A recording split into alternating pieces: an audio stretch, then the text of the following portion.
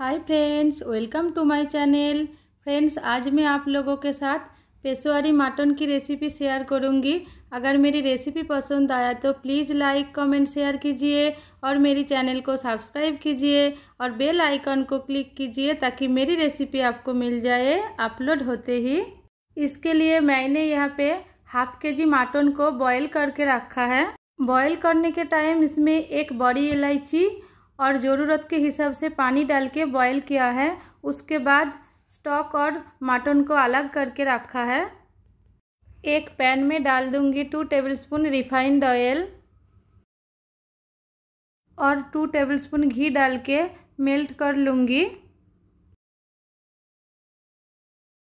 अब इसमें बॉईल किया हुआ मटन डाल दूँगी, लेकिन मटन स्टॉक अभी नहीं डालना है।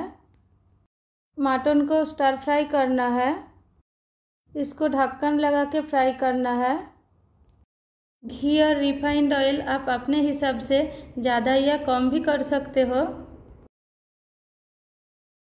मटन फ्राई हो गया। अब इसमें डाल दूँगी दो तेज़पत्ता, तीन से चार छोटी इलायची, तीन से चार लौंग, हाफ़ इंच दालचीनी और एक स्टार एनिस डाल के अच्छे से फ्राई कर लूँगी। अब इसमें स्लाइस ऑनियन डाल के फ्राई कर लूँगी। एक मीडियम साइज़ ऑनियन को इसी तरह स्लाइस करके काट लिया था। ऑनियन को मीडियम फ्लेम में फ्राई करना है। अब इसमें डाल दूँगी डेढ़ टेबलस्पून लहसुन चॉप्ड और एक टेबलस्पून अदरक चॉप्ड डाल के फ्राई कर लूँगी। अब इसमें डाल दूँगी एक टीस्पून जीरा पेस्ट जीरा को पेस्ट करने के टाइम उसमें दो हरी मिर्च और थोड़ा सा काली मिर्च डाल के पेस्ट किया था। इसको अच्छे से मिक्स कर लेंगे। अब इसमें टू टेबलस्पून फेटा हुआ दही डाल के लो फ्लेम में अच्छे से मिक्स कर लेंगे। अब इसमें डाल दूँगी एक टेबलस्पून आलमंड पेस्ट। आलमंड को पहले गर्म पानी में भिगो के रखा था, फिर उसके बाद छिलका निकाल के पेस्ट कर लिया है। साथ ही डाल दूँगी एक टेबलस्पून काजू नट पेस्ट। अब इसको लो फ्लेम में अच्छे से मिक्स करना है। अब इसमें डाल दूँगी वन फोर टी स्पून गर्म मसाला पाउडर, थोड़ा सा जायफल जावित्री पाउडर, थोड़ा सा जायफल और थोड़ा सा जावित्री को एक साथ ड्राई रोस्ट करके पाउडर बना लिया है। थोड़ा सा रोस्टेड स्टार एनिस पाउडर। अब इसको अच्छे से मिक्स कर लेंगे। अब इसमें स्वाद के अनुसार नमक और थोड़ा सा शुगर डाल के अच्छे से मिक्स कर लेंगे। आप चाहे तो शुगर को स्किप कर सकते हो। अच्छे से मिक्स कर लिया है। अब इसमें डाल दूँगी मटन स्टॉक।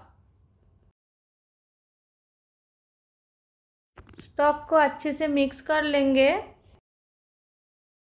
अब इसको ढक्कन लगा के लो फ्लेम में आठ से दस मिनट के लिए पकाना है। बीच बीच में ढक्कन निकल के स्टर करके फिर से ढक्कन लगाना है। फ्रेंड्स, अगर रेसिपी पसंद आया तो प्लीज़ लाइक, कमेंट, शेयर कीजिए और मेरी चैनल को सब्सक्राइब कीजिए। मटन बहुत अच्छे से पक गया है।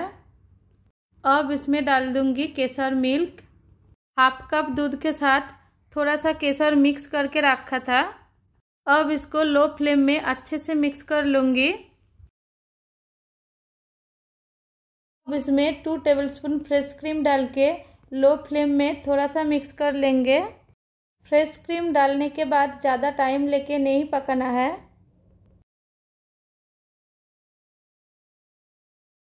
अब इसमें थोड़ा सा फ्राइड ऑनियन डाल के मिक्स कर लूँगी। फ्राइड ऑनियन यानी बेरिस्ता को मैंने पहले से ही बना के रखा था। अच्छे से मिक्स कर लिया है। अब इसके ऊपर और थोड़ा फ्राइड ऑनियन डाल के गैस का फ्लेम को बंद कर दूँगी और इसको ढक्कन लगा के पाँच से छः मिनट के लिए स्टैंडिंग टाइम में रख दूँगी। अब इसको डिश आउट कर लूँगी। ये रेसिपी बहुत ही टेस्टी होता है, आप इसको एक बार ज़रूर ट्राई करें। अब इसको गर्मा गर्म सर्व करना है अपने मन पसंदीदा डिश के साथ। Thanks for watching